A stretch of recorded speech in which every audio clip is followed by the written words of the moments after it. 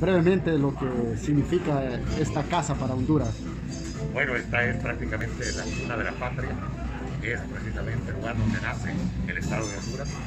Aquí fue donde se reunió el primer Congreso Constituyente en 1825 eh, para eh, declarar eh, una nueva constitución, la primera constitución, elegir el primer jefe del Estado y además para poder tener ya una nación por eso revista característica muy importante el hecho de que este lugar haya sido seleccionado para presentar el nuevo billete de 200 lempiras.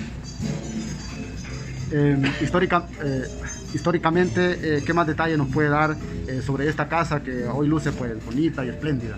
Bueno, nos parece que el Instituto de Antropología e Historia ha realizado una labor encomiable al mantener esta casa, esta casa que ya está eh, prácticamente por cumplir 441 años de haber sido construida, eh, representa una de las edificaciones más antiguas de Comayagua. Eh, fue construida dos años antes de la primera catedral que tuvo Honduras, que fue la Catedral de la Merced, la Iglesia de la Merced, de 1550.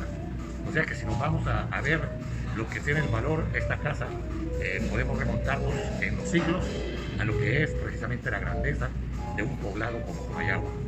Comayagua surge como población en 1537. Esta casa es de las primeras casas en el repartimiento que hizo el gobernador don Francisco de Montero. Fue construida por un conquistador español, por don Francisco del Marco eh, Santi Ponce, que era de los conquistadores de la plana de los Malos de Cárdenas. Así es que esta casa tiene características muy especiales y además que aquí se instalan las primeras autoridades del Estado de Honduras. Para usted particularmente, ¿qué representa? Representa, además de un valor histórico, representa, eh, a mi entender, un acierto por parte del Banco Central al momento de presentar un nuevo billete, sea que yo lo considero no solo por una denominación numismática, sino que una denominación histórica.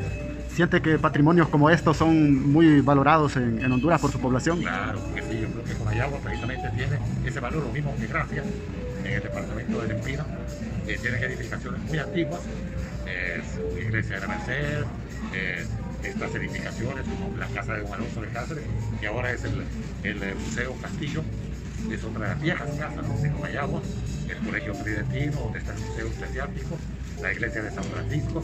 En fin, aquí hay historia, historia que debemos de conservar para poder también levantar la identidad nacional. Finalmente, este puede ser el preámbulo para que, para que otros centros históricos también puedan...